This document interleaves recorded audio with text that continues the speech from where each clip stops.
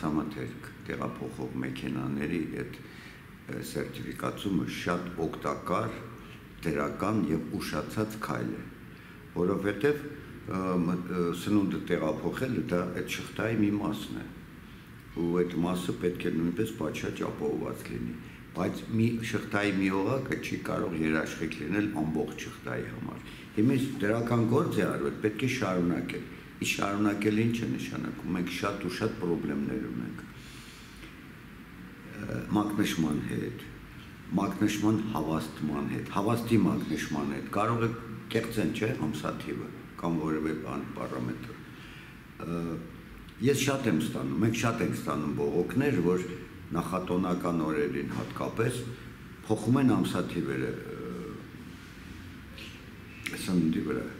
այն էլ արագ փչացող սննդի վրա դա հանցագործություն է պարզապես մեր հասարակական կազմակերպությունը այդ իրավունքը չունի մտնել պահեստ ու ուսումնասիրել թե ինչպես է դա կատարվում դրա համար կա սննդի պետական տեսչություն եւ պետեկամուտների կոմիտե այդ կառույցները առաջերտի սննդի պետական ծառայությունը պետք է կազմակերպի ռեյդ պայմանական ասենք ստուգայց մեր մասնակցությամբ ես մեր ասելով նկատի չունեմ ինձ Հայաստանում կա 9.5 հատ սպառողների միություն այդ սպառողական կազմակերպությունների հետ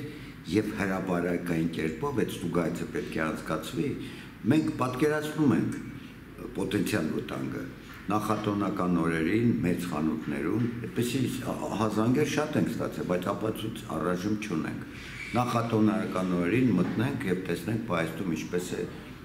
պահպանվում, պահպանումը եւ այդ մակնշման հետ մանիպուլյացիաներ կատարվում են թե ոչ։ Եթե չեն կատարվում ավելի լավ։ Միևնույնն է պետք ստուգայց է, ստուգումը անհրաժեշտ է։ Սա է լուծումը։